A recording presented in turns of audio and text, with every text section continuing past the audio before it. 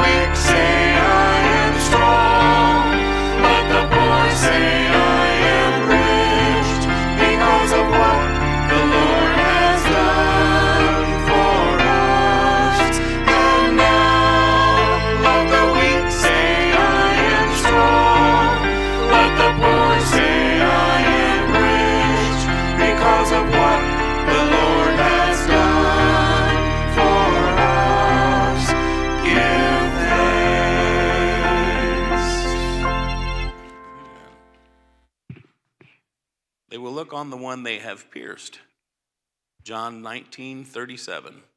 when I survey the wondrous cross.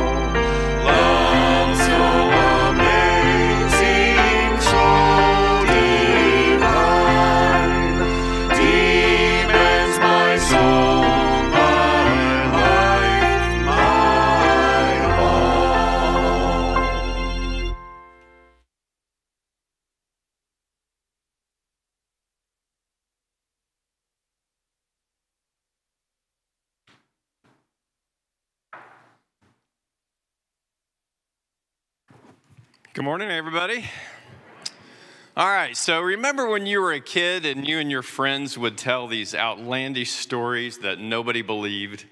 After the stories that were told, there was the typical response prove it. My dad can bench press 800 pounds. Yeah, right, prove it. I can hold my breath underwater for like an hour and a half. No way. No way, dork. You can't do it. Prove it. My neighbor was fishing at Geist Reservoir, caught a shark. Nuh-uh, that never happened. Prove it. My uncle can remove his thumb and reattach it immediately with no blood. That's impossible. Prove it. So today, even as adults, nobody believes anything. We're still saying, prove it. What about being a Christian? Share your faith, your relationship with Jesus, describe his life, death, resurrection. What's a likely, likely response? I don't believe it. Prove it. There's evidence of Jesus' life and death, and plenty of it. Numerous historical sources, including both biblical and non biblical accounts, attest to Jesus' crucifixion under Pontius Pilate. The discovery of Jesus' tomb being empty shortly after his crucifixion is well documented, even in historical and biblical records. Multiple witnesses, 500 plus, including Jesus' disciples, reported seeing him alive after his crucifixion. There's lots of evidence of Jesus' life, his miracles, his death on a cross, but still we hear, prove it. Unfortunately, all the evidence in the world will not convince some people. Very often in a courtroom, hard evidence is presented and it still doesn't change the mind of the jury. Our Savior lived a perfect life, performed miracles, died on a cross, then rose back to life. I can't prove Jesus died and wasn't re- was resurrected. I wasn't there. I can't say as a witness, I saw the events unfold. I can say I have faith and confidence that it did happen. I know for a fact that it happened because God's word tells me it did. The Holy Spirit that lives inside me tells my heart and confirms it. I don't think the Bible mentions poking people in the chest to prove anything. However, the Great Commission does tell us three things to do preach the gospel, baptize believers, disciple those who receive Christ. But what about proof? Again, I don't think the Lord wants us spending our time yelling, arguing, debating. I think His plan for us involves love, compassion, kindness.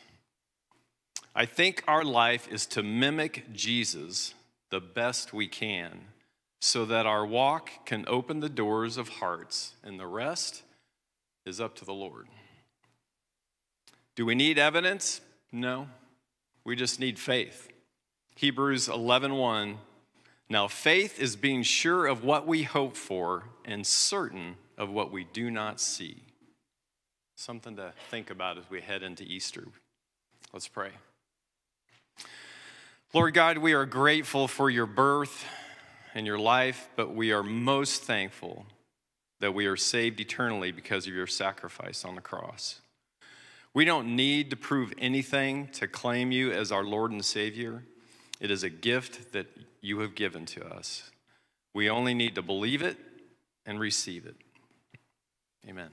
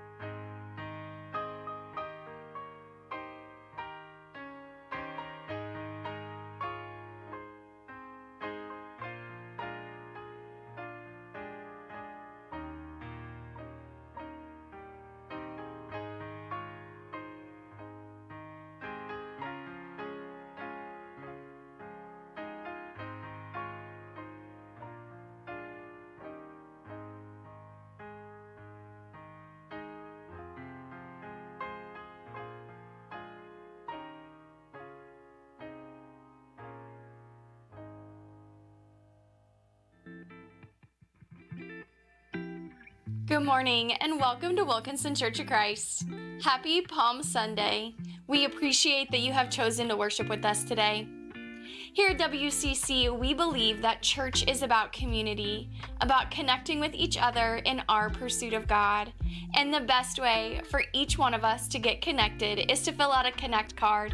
These can be found in the seat back pockets in front of you, and at any time during our service, you can fill out your information as well as any prayer requests that you might have. Before you leave, please drop those in the black boxes at the back of this room labeled Connection Card. If you are a guest with us today, we are truly so happy to see you. There is a guest services booth in the back of this room. There is somebody there to greet you, answer any questions, and to share a small gift with you.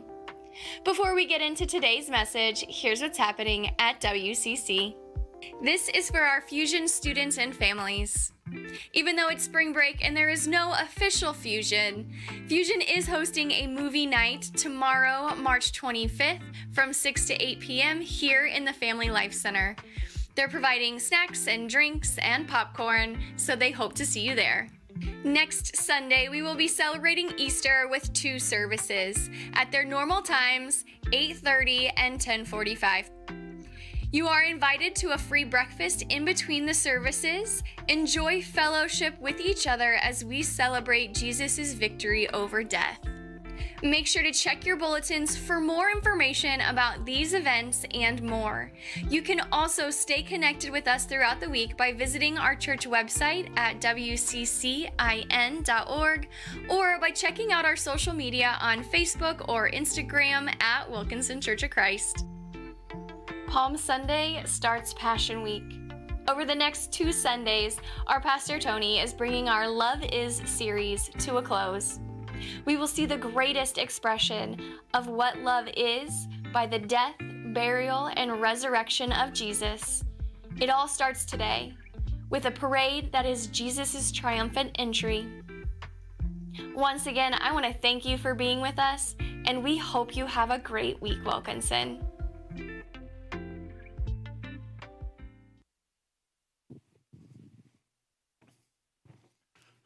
Good morning. I was so waiting for, for Gary, Gary to tell us the part with his illustration where he went to his coworkers and said, You know, my preacher could take his eye out. Prove it. All right, then. we can do that. Just come on, we'll show you. So, I, you know, this morning as I was driving in, and, and this whole week of, of um, thinking of Palm Sunday and Holy Week starting, you know, I was as I was coming in this morning, the the moon was just bright. I don't know if any of you all had a chance to see that this morning, but I walked out and it was just illuminating uh, the neighborhood. And as I was driving, I was thinking of of Palm Sunday and Easter, and you know this thinking of how, why Easter set so early this year, and it has to do with setting it on the calendar by the, the new moon and the full moon. And I'm like, here it is, and it's lighting the way in the darkness. I thought Jesus is lighting the way in darkness. And then I got here, and the sunrise this morning was just gorgeous with, with the colors. And I'm like, once again, God, you're just showing showing who you are. You're showing off this morning, and I am so glad for that. And I hope that you are as well. So I shared with you last week that uh, my wife's grandmother lives has lived on the corner up until her passing a couple weeks ago same house for many, many years, right on the, right on the southeast corner of Morgan and Adams in Knightstown. We live right across the street from her. Over the years, that became prime real estate to watch the Jubilee Days parade. How many of you are from the area, Knightstown, you know all about the Jubilee? Well, we felt like kings of the corners and queens because we had the best seat. But it's kind of sad because we recognized that, like, to get our chairs out on the sidewalk, we had to do this like hours ahead of time because people recognize that as the hot spot for the parade. But it, it was just the place to be. And uh, we, we had a lot of memories over the years with uh, Anne Marie and I as a young married couple, and then our grandkid, our kids, and then our grandkids, and to where it is today. And it's just a great place to watch a parade. If you ever want to do that, let me know. There's an empty lot next to it. We'll just set up a WCC banner and, and, and, and do that. Or maybe we'll just put something in the parade when they have it again. But how many of you, how many of you like to watch parades? Anybody? I, I do. I, I, love to watch parades. Maybe you have been in something where you have been a part of a parade. That's kind of exciting too. We, uh, at the sheriff's department, we had an honor guard. And oftentimes they called on us to be in a parade, right? We always enjoyed that, except for one year at Moreland, they put us behind the horses. for those of you who didn't laugh, let that sink in. If you need an explanation, see me after the service. So that wasn't real enjoyable, right? Because you're to be disciplined and you're to, to march straight ahead regardless.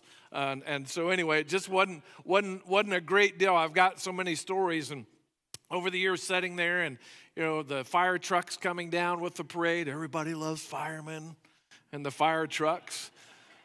But you know what I mean with parade? It just gets excitement, doesn't it? It stirs something within us as a kid and as adult both. We're really a, a culture, a community, a nation that really, really loves parade. There have been some really special parades over the years. October 29th, 1927. I know a lot of you weren't around then, but you can read about it in your history book. There was a huge ticker tape parade in New York City for Charles Lindbergh that had his solo flight across the Atlantic Ocean. And it was said in that parade there was over 750,000 pounds of ticker tape for them to, to clean up afterwards. Another big parade was on March the 1st of 1962, John Glenn. It was honoring John Glenn after he became the first American to orbit the Earth in a spacecraft. It said the sanitation department had to clean up over 3,000 tons of ticker tape parade. That sounds like quite a celebration, doesn't it? Well, you get the idea of the fanfare related to a parade. We come to this, this point in our series of Love Is this morning.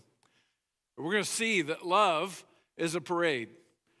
When you read this account in the gospel of Jesus and his triumphal entry, there are elements that would seem to be parade like with that crowd.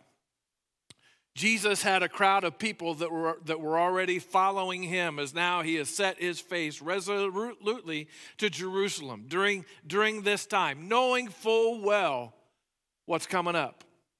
So he had his crowd that was following him. He had the crowd that was coming from Jerusalem, coming out to meet him. And so you've really got these two crowds kind of colliding, really, like waves in an ocean that are, that are coming together.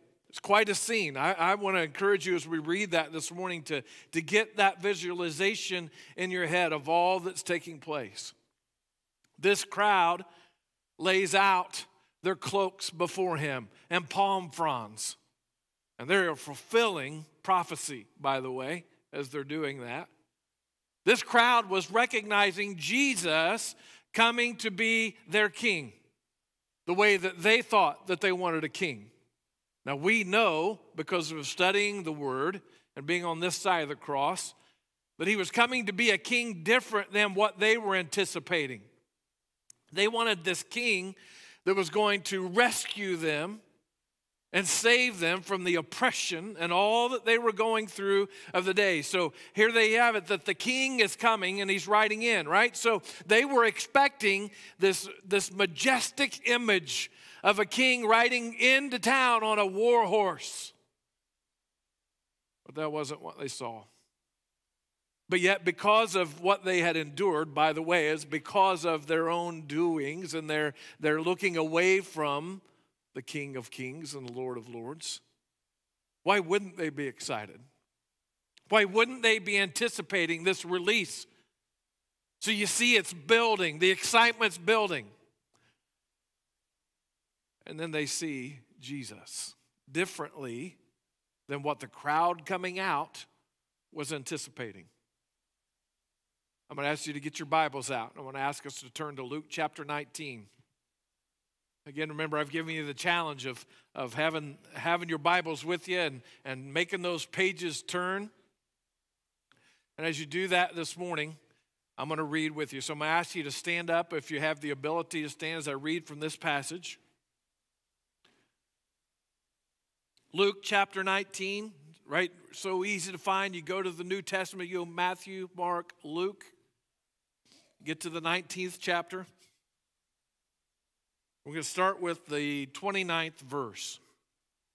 Depending on the version that you have, the heading above that is Jesus comes as king or, or triumphal entry, but it paints the scene. So here, here as I read this morning, and as you study yourself, think of just, just put the scene in your mind. As he approached Bethphage and Bethany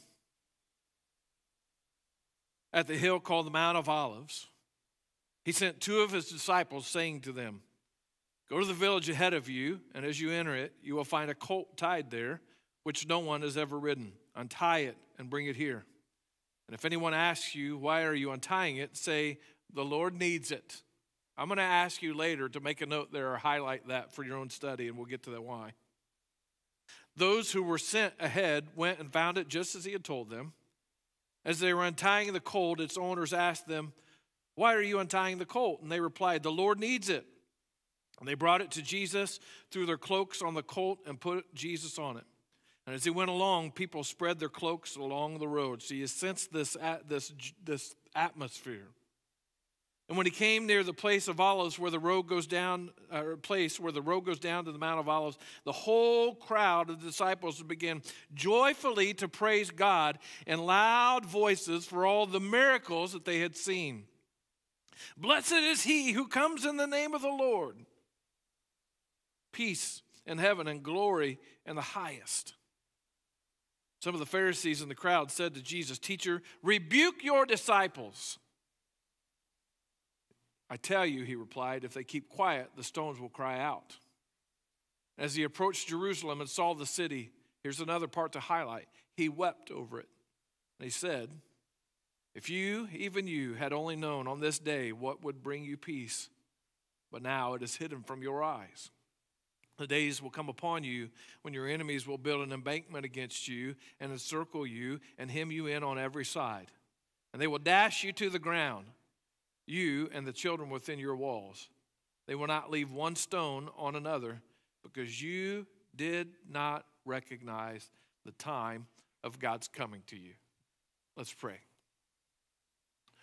Father God in heaven, as we dive into your word this morning, I, it's just it's just my prayer that that we're not so wrapped up in jubilations of the whatever parade we're walking through this morning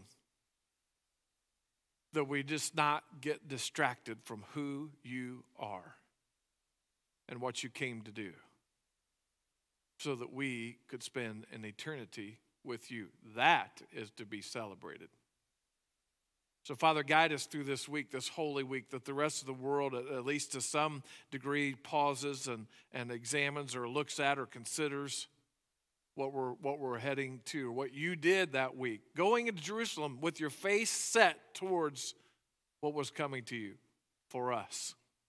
That, Father God, we know is what love is. We'll give you the praise in Jesus' name. Amen. Please have a seat. So, as I've said, you, you've got different kinds of people that are greeting Jesus. You've got those that were with him, those that were coming out, and even in that group were, were different types of people. Think about Jesus and the magnitude of this event. I, Warren Wiersbe uh, wrote something that I've read before in, in preparation for Holy Week, and he's talking about Jesus. He says, and he's basically saying, what if could you imagine Jesus entering into a parade, if you will, in modern society as we know it today? He said, if Jesus were to do that and leading the parade, he says he would have been he would have been uh, arrested immediately, and he'd be a wanted man. He said the FDA would want him for turning water into wine without a license. He said the EPA would be after him for killing fig trees the AMA for practicing medicine without a license, and the Department of Health for asking people to open graves, and for raising the dead, and for feeding 5,000 in the wilderness without a food permit. National Education Association would be after him for teaching without a license, and OSHA would be after him for walking on water without wearing a life jacket. And the SPCA, cue the Sarah McLachlan song, for driving hogs into the sea. And the psychiatrist board for, for trying to give advice on how people should live guilt free, and the NOW for not for not uh, uh, choosing uh, women disciples, and for Abortion Rights League to be after him to say whoever harms one of these children. You, you know how he felt about children. He said the interfaith movement would have been after him so hard for condemning all other religions, and the zoning department would be after him for building mansions without a permit. That's a reference to John 14 and 1. So you, you, you have all kinds of people that, if we look at the attitude of people today, right, how they're approaching the parade, how they're approaching Jesus' word, how maybe they're considering or not considering his second coming, then you're going to find that some of the attitudes of people today were not unlike the attitudes and actions of people then. He had those that were coming out to see this, and amongst them were critics. We know that. There were the religious leaders of the day that never ran out of complaints about Jesus and criticism of Jesus. And oh, by the way, we're looking to kill Jesus. And Jesus, this week, as we look at the Palm Sunday, that entry into Jerusalem, he is throwing down the gauntlet of his public ministry of here I am. And if he could paraphrase, think of what's going on. He said, you know, thinking if they've been wanting to kill him, you don't get to kill me. But God has already decided what I'm going to do this week. And so they're there. Those bloodthirsty, apparent religion, going through exercises, checking off the boxes, leaders were there watching him. And they see this uprising and they tell him to, teacher, preacher, tell them to be quiet. Jesus says, no. It's not going to happen. If they remind, he gives them the whole reason. And they weren't going to stop him. This was God's plan, prophecy being fulfilled. In this group, you also had those that were curious. He had those that kind of wanted to see what all the fuss was about. Do you know that there are people like that today? They kind of want to see what the fuss is all about. And then, then, then there was the crowd, this crowd that would follow Jesus as long as everything went the way that they wanted it to. This group that was going to follow him because they wanted, they wanted that king, that earthly king. And they were going to be there and they were going to be following him as long as it worked out for them the way that they had in their mind that it should. You had those then that were also the committed group, imperfect people who loved Jesus and wanted to do what would please him. I'm going to ask you a very straightforward question this morning. Which one of those are you this morning? Examine your life. I examine my life. And let's think about what crowd, what critic, what follower we are of Jesus. And if it's anything different than a committed follower, I want you to, to examine the evidence and the message this, this day and walk out of here differently than what you came in. So, where are you? What is it then if you are that believer, that follower? And I know so many of you are, and I am so blessed and grateful for that. What is it then, in, in the terms of love, what is it then that marks you as a committed Christ follower? It's not lining up for the parade, it's not sitting in a seat here on this Palm Sunday morning to check off the box of singing some worship music and seeing somebody that maybe you hadn't seen since last week. That's not it. It's a demonstration of love. So, what does love look like for you as a follower? I want to share three things this morning that as we could come to wind this mess series down between this week and next week, three things to, that demonstrate that you are a follower of Christ. Because when we are following Him, that means we are loving like He loves. And that means that love is demonstrated in the fact that we simply, hear me, write this down. If you're taking notes, write this down. We do what Jesus says. Golly, that seems so simple. And his instructions are simple, but they become hard because Satan wants to make it hard.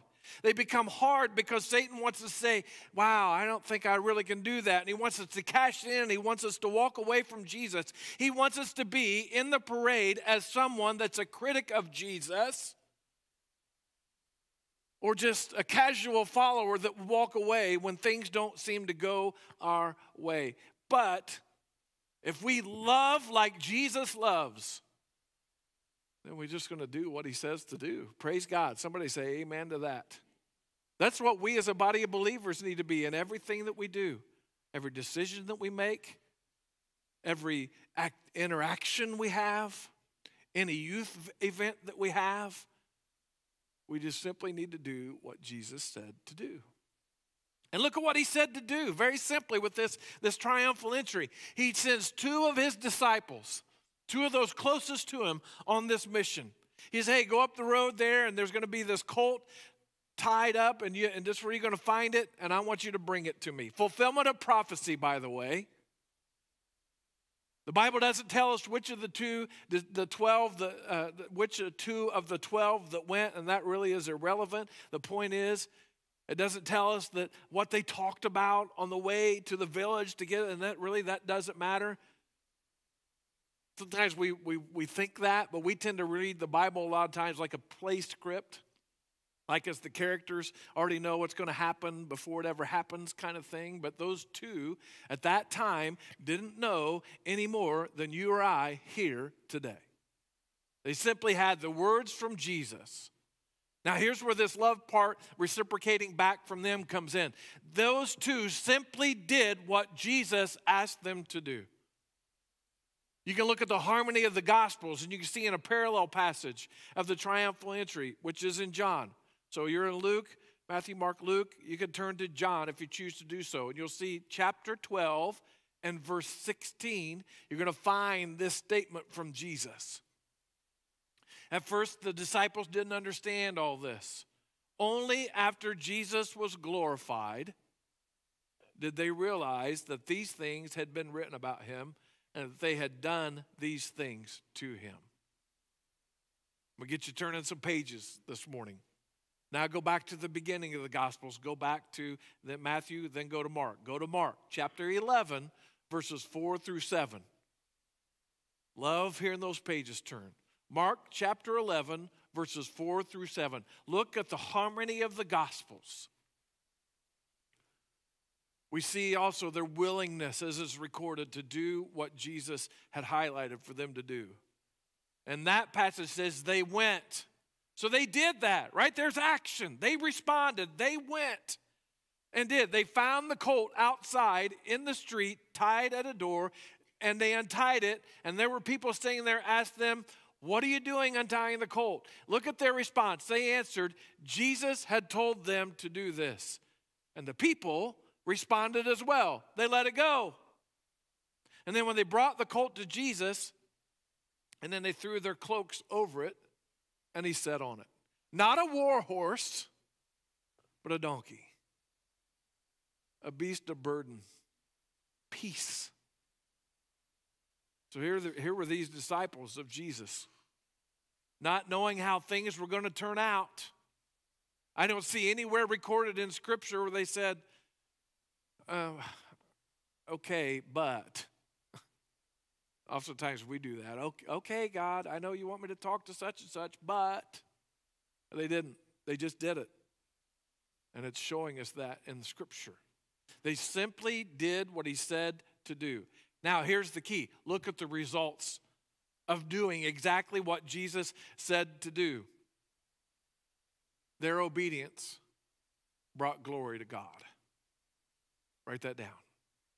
Their obedience brought glory to God, fulfilling prophecy, God's plan. And because they did what they were asked to do, it's bringing honor and glory to God. Now, think about the owners of that donkey.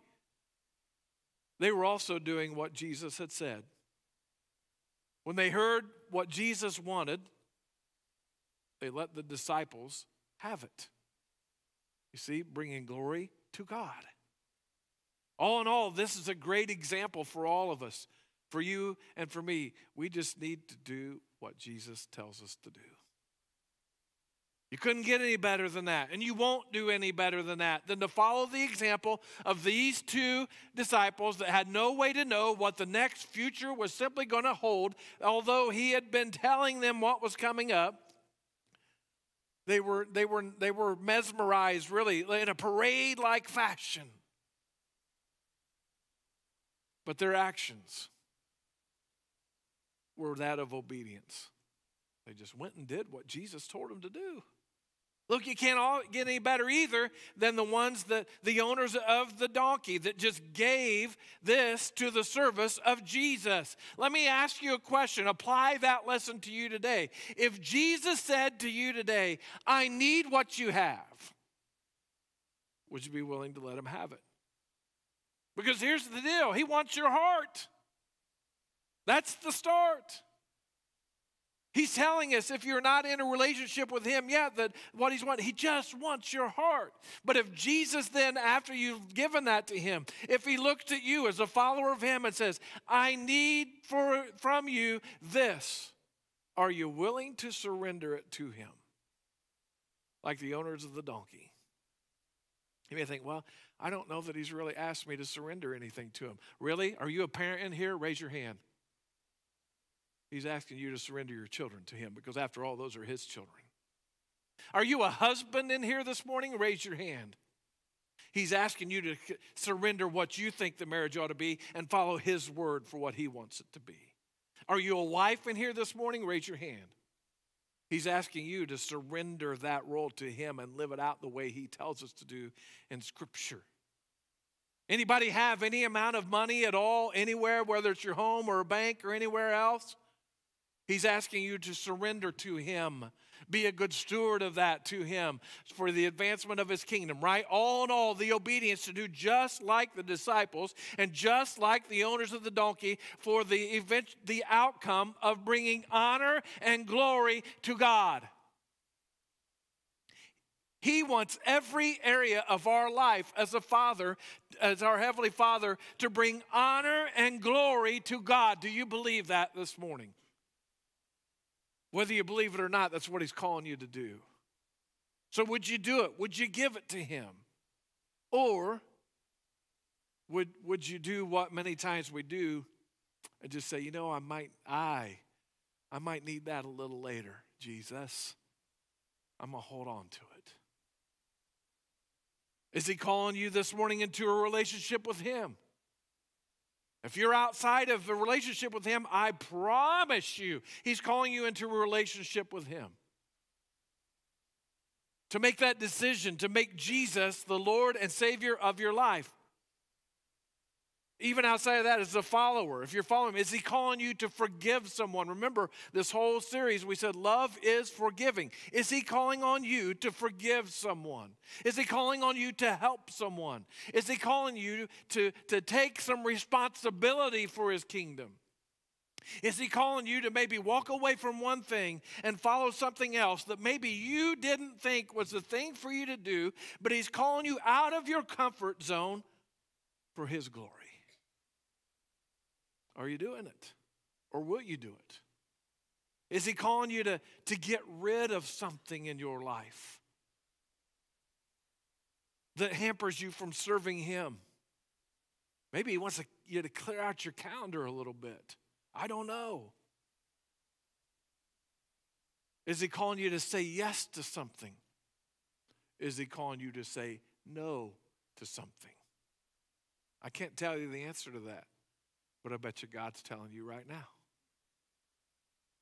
Whatever it is, I can't tell you what, what, what, what your response is. I can't tell you what it is, but all I can do is tell you what his Jesus mother told the servants at the wedding in Cana that's recorded in John chapter 2 and verse 5. Do what he tells you. If you and I will be obedient If we'll be obedient like those disciples of that day were over well over 2,000 years ago, you are going to be amazed at what that simple act of obedience will do to bring honor and glory to God. Praise God. So we need to just be, do what Jesus says if we're going to love like he told us to love. And then we also need to, write the second point down if you're taking notes, we need to feel what Jesus felt. Get back to Luke. If you're in Mark, go turn the pages to your left and go back to Luke. Luke 19, verses 41 and through 44, which was a part of our reading. As he approached Jerusalem, love hearing those pages. As he approached Jerusalem and he saw the city, highlight this he wept over it and said, If you, even you, had only known on this day what would bring you peace, but now it's hidden from your eyes. The days will come upon you when your enemies will build an embankment against you and encircle you and hem you in on every side. And he says, They will dash you to the ground, you and the children within your walls. They will not leave one stone on another because you did not recognize the time of God's coming. This is profound.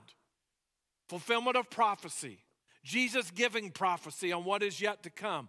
There was something that happened on that road, on, the, on that ride into Jerusalem that we cannot overlook this morning. That if you are so wrapped up into the celebration of a parade that you might miss, it's easy to get caught up in that the crowds, the cheering, the emotion, the excitement. But do not let this point slip by you this morning that we see in Luke chapter 19 and verse 41. It says, As he approached Jerusalem and saw the city, he wept over it. He wept. That word wept signifies more than just casual tears.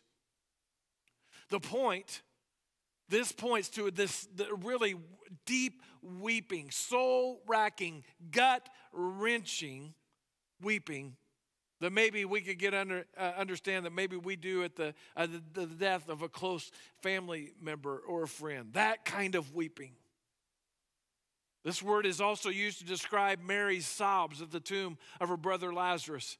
It's the same word in the Greek that's used to picture Mary Magdalene's tears at Jesus' tomb. It's the same word, really, this, this, this weeping in the Greek form that's used to depict Peter's bitter weeping after he denied Jesus and he heard the rooster crow. We're going to talk about that later. Jesus wept. Let me assure you this morning as you read through this and as you know who your king is, Jesus was not crying for himself. Jesus was not crying for what laid ahead. He was not crying over the lashing that he was about to take. He was not crying for the spikes that would be driven through his wrist and through his feet and, and hung on a cross for that slow, agonizing, usually slow death. That is not why he was weeping. He was weeping tears for the fate that was coming to the people of Jerusalem. He's wrapping, uh, he's not wrapped up in the adulation of the crowd. After all, how could he be? Let me pose this question to you this morning. How could Jesus be wrapped up into the excitement of this crowd that's screaming Hosanna, that's celebrating? Because after all, this very crowd that on this day that we're seeing Hail Jesus, in that week to come would be saying, Nail Jesus. He wasn't wrapped up into that, I promise you. But in the midst of all those cheers and the shouts of the crowd, no question that Jesus knew and could hear the screams, the cries, the shrieks, the groans of the men and the women and the children that were going to die in Jerusalem in about 35 years following his final week on this earth. Jesus is pointing to that in this passage. Later in the week, Jesus is, is prophesying, going to prophesy concerning the destruction of Jerusalem, like he's doing here. He's leading up to that. Jesus was going to pull all of this together, that near far future event and this near future event. He's going to take all that up. He's going to tie it up. He's going to be talking and telling them about, about the year about 70 AD when the Roman general Titus was literally going to demolish the city and destroy all the glorious temples and brutalize the people. And Jesus says here in our passage in Luke, the days will come when your enemies are going to build an embankment and they'll encircle you on every side and they'll dash this to the ground and the children within your walls and they will not leave one stone unturned. Why? What was it that put these people in such peril, this treacherous situation that they're in, even though they're not getting it yet? Jesus tells us why in verse 44 because you did not recognize the time of God's coming to you. John 1 and verse 11, Matthew, Mark, Luke, John, chapter 1, verse 11. He came to that which was his own, but his own did not receive him. There's your why. This, here he was, the, the Prince of Peace that was in their midst, and they missed it. The God of love, the God of mercy, of grace was in their midst, offering them salvation, and they missed it. They were looking for something else. They were looking for the earthly king. Everyone, everyone that's at that party, if you will, everyone but Jesus They're wrapped up into the party. He has this compassion for the lost sheep of Israel. Jesus is feeling it. That's why he's weeping. Just as the example of those two disciples and the owners of the donkey give us the obedience to, to model, the heart of Jesus gives us the standard by which you and I should live our lives if we're going to claim to follow him we should feel what Jesus felt. That means to you and I that are here this morning and those that are watching online, we need to allow our hearts to be broken for those that are hurting. We need to allow our hearts to be broken for those that are wandering, for those that are searching, for those that are lost. And like people in Jesus' day, those that don't even know their own true condition. Somebody say amen. That's what we need to fill. That's who we need to seek. That's who we need to share the news to. Let me ask you a personal question this, this morning. When's the last time that you wept for somebody that was lost? When is the last time that you looked at them through the eyes and heart of Jesus, not your own? When have you shed tears of grief and sorrow and compassion for that lost condition? If you are here this morning as a believer in Jesus, I promise you someone here on this earth has shed tears about your lost condition before you came to Him. How many of you know that you've got parents and grandparents that prayed for you for years just to come to know Jesus? I know we have high school students with us this morning. I'm very grateful for that. And I don't know where you're at in your walk with Christ, but if you're here and you're walking in Him, I'm sure that you, you are grieved by someone, a friend that's lost and walking without Jesus. Then feel what Jesus felt. Because here's the thing I cannot tell you specifically who God is asking you to open your heart to. But you know what? God knows. And I bet right now you know too. Maybe it's a neighbor, maybe it's a coworker, maybe it's a brother, maybe who's in the setting along the parade route with you. Maybe it's just a casual acquaintance. Whoever it is, it's someone who hasn't experienced the forgiveness of Jesus and the peace and the freedom that comes in this new life in Christ. And if we're going to do what Jesus did, if we're going to love like Jesus did, then we're going to have that same compassion that he has. Jesus said he came to seek and to save the lost, didn't he? You believe that this morning? Say amen.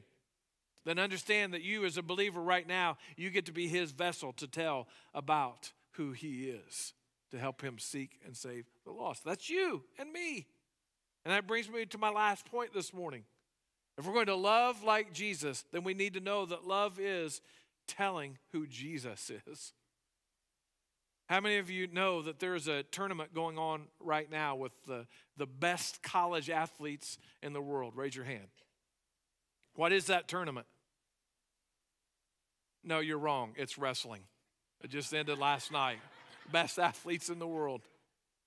I shared this with our FCA group on Friday. I watched a couple weeks ago, I watched the Big Ten finals. Penn State, most one dominant, dominant team. You quickly, as you heard their, their uh, wrestlers come off the mat, got a heart for why they're so good. Aaron Brooks, who wrestles 197, his collegiate career, he's only lost three matches, and he's a senior.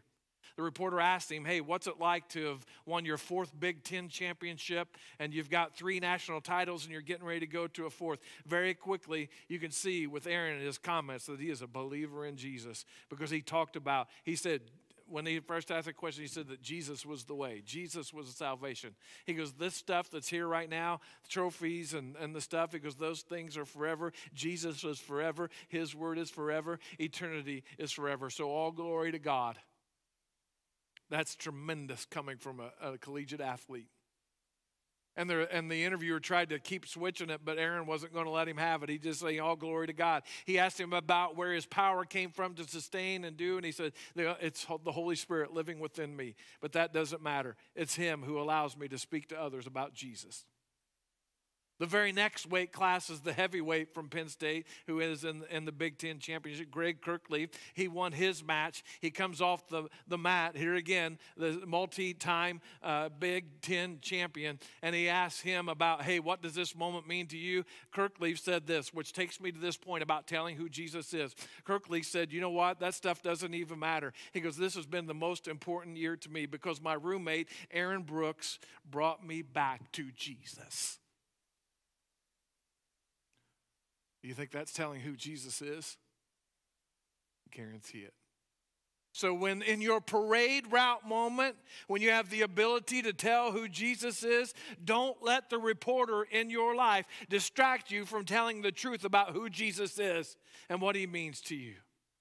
Listen to the conclusion this morning of that Palm Sunday story that we'll read now from uh, uh, Matthew 21, verses 10 and 11, the first gospel of the New Testament, Matthew.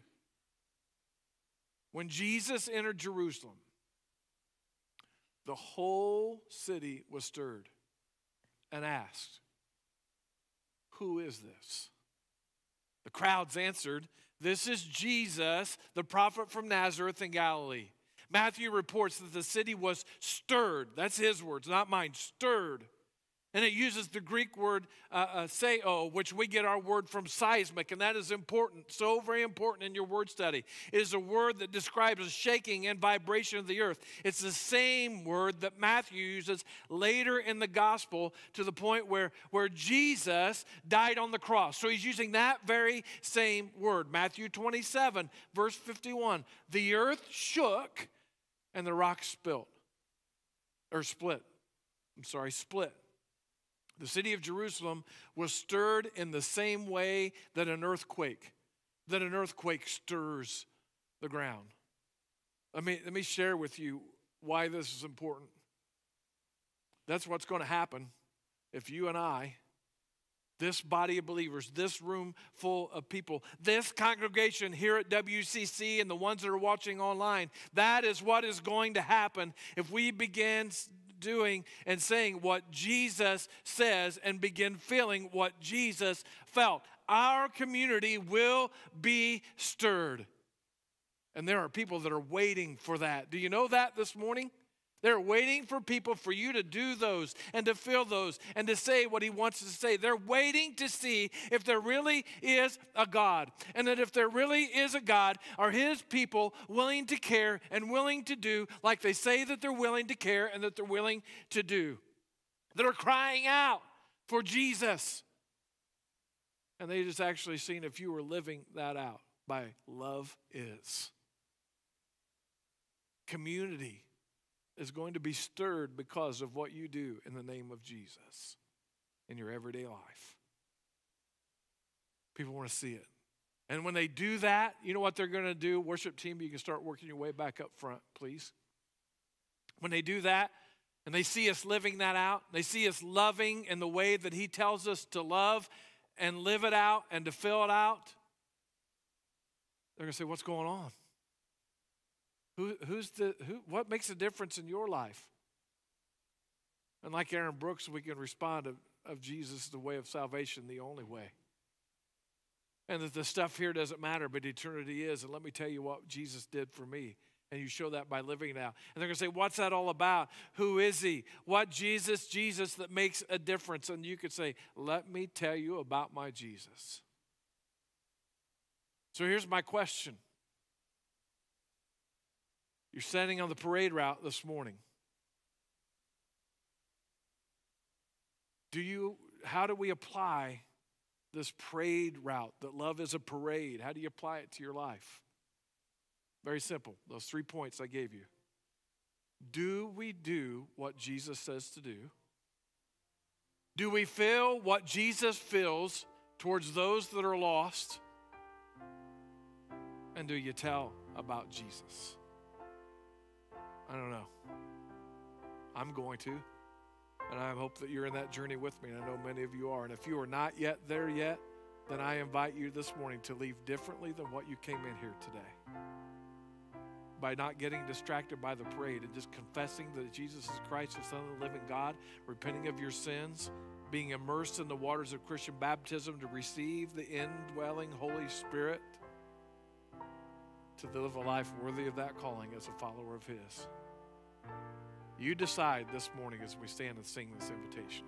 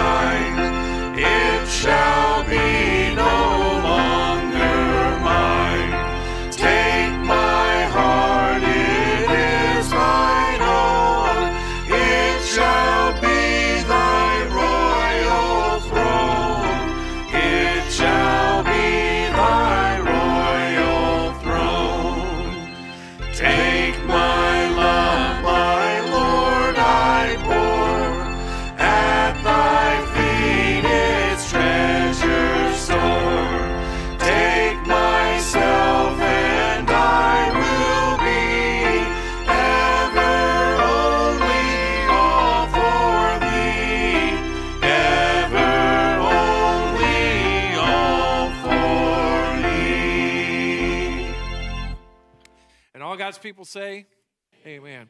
Hey, lots to consider this week. There is a good uh, Friday community service. It's been in the bulletin. It's posted uh, as well. Um, that is a, what, I forget which. Jan, do you know which?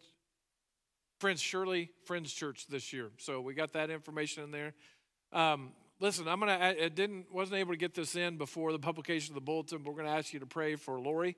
Lori is ill and. Um, She's got some health concerns and problems, and we just uh, want you to lift that up. God knows what it is, and He knows the why. Uh, so she is in the hospital right now. Um, we'll keep you updated as we're able to do that. But that didn't get We weren't able to get it in the bulletin, so I want you to be praying for her now. All right? All right, thank you so much. Rick, would you have our closing prayer? Let's Thank bow you. our heads. Father, we thank you again for your written word that we could study, we could take into our own lives. And we, we know that if love is a, is a parade, and we usually parades are because people are proud of something. On Palm Sunday, they were so proud to welcome their new king. I just pray that you would be with each of us, that we could keep that same pride within ourselves and we could share it with those around us. And so we could, when people see us, we could be proving that we're children of the King. So be with each of us this coming weeks. My prayer in Jesus' name. Amen.